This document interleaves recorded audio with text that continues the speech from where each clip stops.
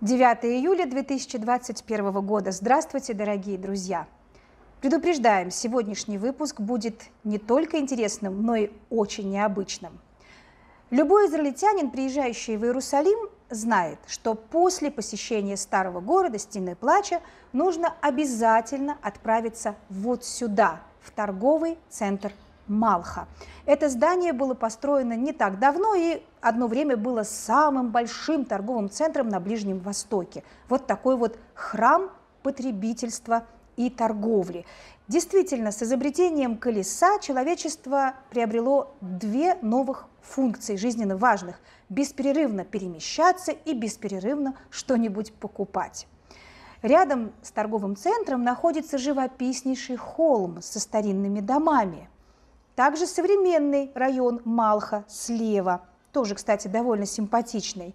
Ну а прямо напротив торгового центра очень живописные древнейшие развалины. Впрочем, тут нет никаких табличек, объяснений, указателей. Здесь просто обычно курят сотрудники торгового центра, когда у них перерыв. Мы же с вами исследуем сегодня этот район Малха и узнаем его потрясающую историю, которая начинается вот отсюда – с крестного монастыря. Долина креста.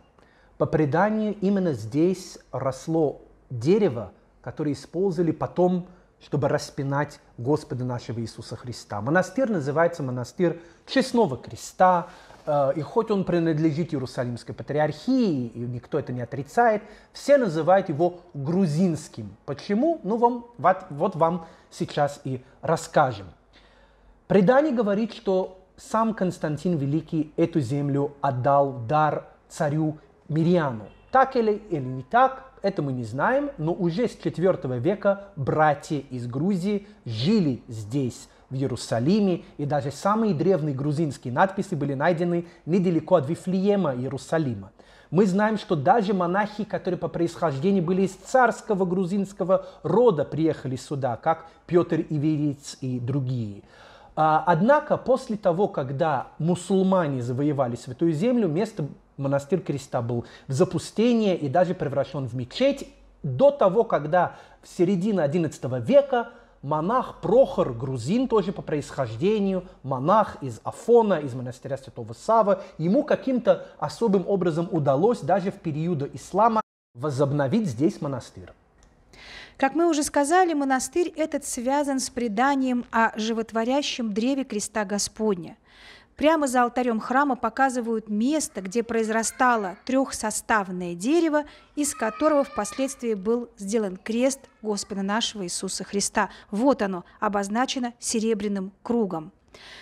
В XII веке для строительства монастыря и храма, который мы видим сегодня, из Грузии прибыла целая делегация, 500 человек, и здесь был большой крепкий грузинский монастырь. Однако в Грузии было много проблем, монастырь содержать было все труднее, братья продавали землю, и вот к XVII веку вынуждены были монастырь покинуть. Кто-то ушел в лавру святого Савы, кто-то расселился по другим монастырям Святой Земли. Сам же крестный монастырь перешел в руки Иерусалимской патриархии, которая со временем смогла все эти долги оплатить. В монастыре поражают росписи. Это древние грузинские росписи XII века, где даже сохранились надписи на грузинском языке, и росписи XVII века, которые были сделаны монахами Сафона – во время реставрации монастыря. Сюжет роспись необычен и отражает наше местное почитание местных святых.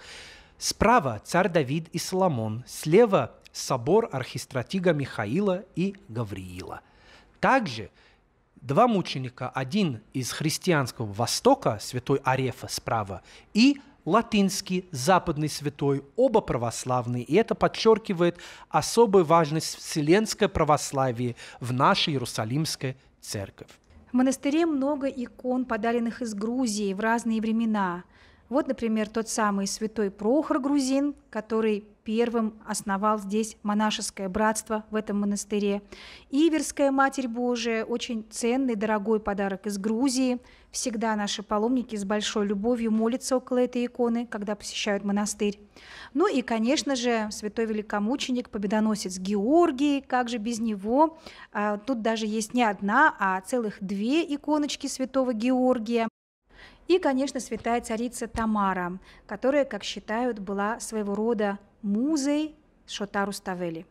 Великий грузинский поэт Шотару Ставели был министром при дворе царицы Тамары. В последние годы своей жизни он стал монахом и пришел в Иерусалим с той самой грузинской делегацией в XII веке для того, чтобы возобновлять и строить крестный монастырь.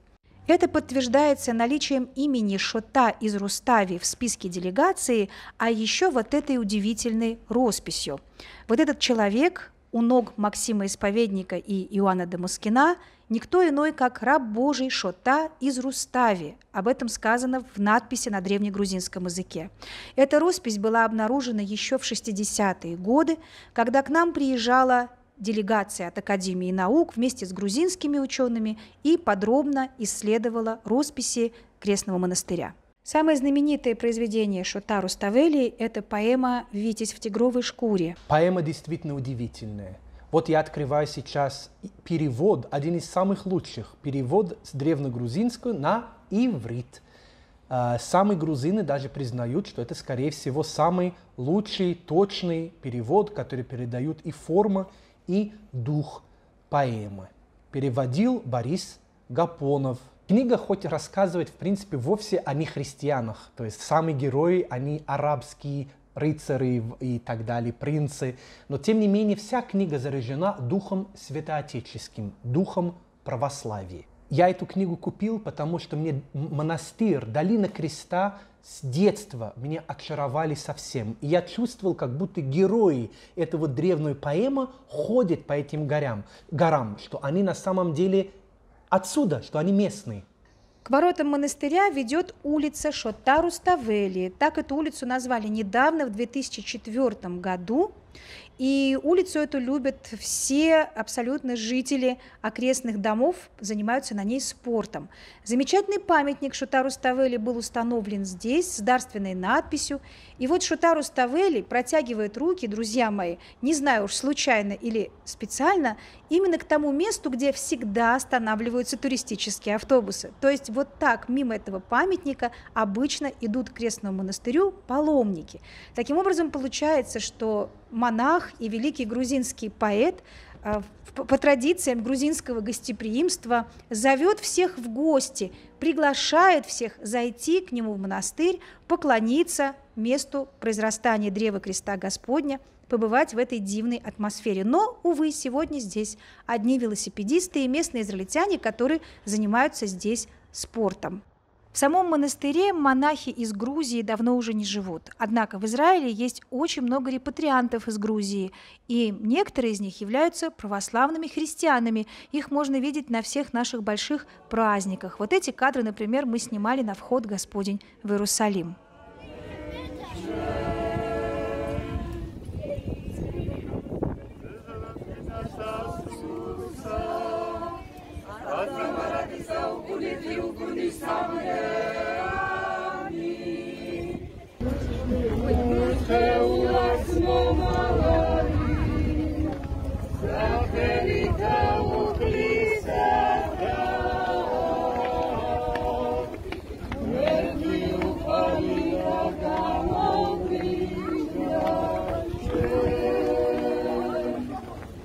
И вот эта грузинская, самая настоящая грузинская деревня Малха находится напротив торгового центра, каньон Малха на иврите. Образовалось это селение в XII веке. Дело в том, что сам монастырь Креста, который недалеко отсюда, да, был, в принципе, можно сказать, такой царский официальный проект грузинский. Соответственно, для того, чтобы монахи, которые некоторые из них были, в принципе, из царского или аристократического рода, надо было, чтобы были также миряне, которые бы помогли в землях, которые находятся недалеко от монастыря. Монастырь-то большой, как крепость, и вокруг этой крепости были разные поля. И эти поля ухаживали за них эти э, крестьяне, которые в каком-то смысле, они, можно сказать, были крепостными. То есть хозяева, их хозяева были, в принципе, э, епископы или э, игумены монастыря Святого Креста. Таким образом, эти крестьяне, жившие в деревне Малха или Малиха, ухаживали за монастырскими землями, строили крестный монастырь и были одновременно его же прихожанами. Правда, источники говорят нам любопытную вещь. Еще в IV-V веке здесь было византийское поселение, и в нем тоже были грузины, которые ухаживали за розовыми садами. Так что, можно сказать, грузинский след начинается здесь еще в самые ранние первые века христианства. Они растили миндаль, инжир, гранаты, оливки, конечно же, делали оливковое масло.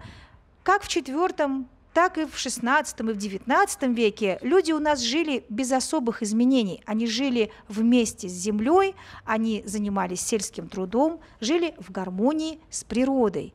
Первое поселение здесь Малха с бронзового века, 4000 лет назад, 2000 лет до Рождества Христова. Вот те самые раскопки, где обычно отдыхают сотрудники торгового центра. Кроме них никто эти места и не знают. А почему селились здесь в бронзовом веке?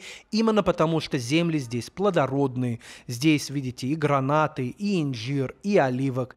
Возле Крестного монастыря сделали любопытную реконструкцию. Это оливковые пресс или маслобойня IV-V века, то есть уже византийский период. Но ведь точно так же эта маслобойня выглядела бы и в бронзовом веке, да и вплоть до начала XX века наши палестинские крестьяне вот так делали оливковое масло. Сперва оливки дробили, измельчали, превращая их в кашу вот на таких вот каменных жерновах – Потом складывали это все в большие корзины и надавливали сверху прессом, и вытекало свежевыжатое оливковое масло. Интересно, что олива на грузинском языке будет зейтисхили, а по-арабски и на многих других семитских языках тоже олива называется зейт. В Библии описаны бамот, то есть высоты, где совершили разные ритуальные жертвоприношения, то есть языческие народы. Археологи говорят, что как раз здесь был культовый ханаанский центр. Как раз очень интересно, что вот такой культовый центр находится около современного храма капитализма в виде торгового центра. Соседствует с нынешним храмом капитализма центр высоких технологий, главный в стране, и знаменитый спортивный стадион Тедди. Случайность? Ну, будем надеяться, что да. Да, здесь в Палестину на смену хананеев пришли израильтяне, на смену израильтяне, потом римляне, на смену римлян, потом христиане. И дальше, мы знаем, была исламизация. Религии меняются. Однако базовые надежды или быт человеческий всегда был одним и тем же. Вот именно здесь, в этой капище языческой, которую мы здесь находим Малха, люди, скорее всего, тоже о чем молились? О благоденствии, о том, чтобы земля отдала свой урожай вовремя. И так, в принципе, простые люди жили и молились фактически до 20 века. Были ли они э, православными или мусульманами, или евреями, или просто язычники, это, в принципе, с точки зрения их быт и образ жизни, особого значения не имело. А вот старое кладбище и мечеть на вершине деревни Малаха. Как раз когда грузины э, стали меньше сюда отдать пожертвования, меньше стали сюда приезжать, связь прорвалась с Кавказом, и, соответственно, большие долги были у э, грузинского братства Святой Земле, и потихонечку они должны были перейти в Иерусалимской церкви. Но что делали крестьяне, живущие в Малха? Они не могли покинуть свой дом родной. Они остались здесь, но потихонечку теряли свой язык и даже осваивали местную исламскую религию. Однако они бережно хранили свои грузинские традиции и даже между собой только женились. Да и местные мусульмане и арабы относились относились к ним как к чужим, хоть они были такие же мусульмане, как они. Между собой эти люди называли себя гурдж, то есть грузины. И до сих пор у нас, у иерусалимских арабов-палестинцев, есть некоторые грузинские семьи. У них фамилии отличаются от других имеют явно такие грузинские какие-то окончания. И они знают о том, что они грузины, хотя исповедуют уже давно ислам. Действительно женятся только на своих и чувствуют себя несколько обособленно. С 1948 года здесь живут ни мусульмане, ни палестинцы и ни грузины. Здесь живут евреи. Жители города должны были покидать место и селились в основном в палестинской автономии и Вифлеем. Сюда в 50-е годы в этой удаленной, довольно далеко от Иерусалима селении жили малоимущие иммигранты из Курдистана и из других восточных арабских стран. Начало 90-х стали уже строить и новые районы. Так что место стало к 2000-м довольно престижным. Появились здесь апартаменты такие как бы престижные, виллы, дома для богатых. Однако никакого хранения особого характера этого деревни не было. Строили и подстроили каждый как хотел. Увы, место сейчас не считается археологически важным, ценным, не ведется никакая консервация старинных, древних даже домов. Ну, а рядом цветет новый, очень красивый, действительно красивый район Малха. Главная же ценность этого района для местных жителей, особенно обеспеченных, которые любят здесь э, покупать большие дорогие виллы, в том, что находится этот район рядом со знаменитым торговым центром Малха, это очень удобно, а также рядом с шоссе, которое ведет в Тель-Авив, за город. То есть таким образом ты живешь в Иерусалиме, но очень легко можешь добраться на работу, например, в Тель-Авив или еще куда-то. Ландшафт Иерусалима и его окрестности, конечно, сильно стал меняться в последние 30 лет. На моих глазах строили прямо вот здесь, на этом холме, который называется Holy Land, там раньше был отель и парк, стали строить вот этот проект, который все местные жители Иерусалима были категорически против него и называли его полушутя «трансформеры», проект трансформеров. Невероятным контрастом выглядят, конечно, вековые религиозные народные традиции на фоне вот этих вот трансформеров и храмов капитализма. Но думается, есть во всем этом какой-то корень, который не может выкорчевать никакое самое страшное трудное время. Будем надеяться на это. Желаем вам всем крепости и обещаем выходить в эфир как можно чаще.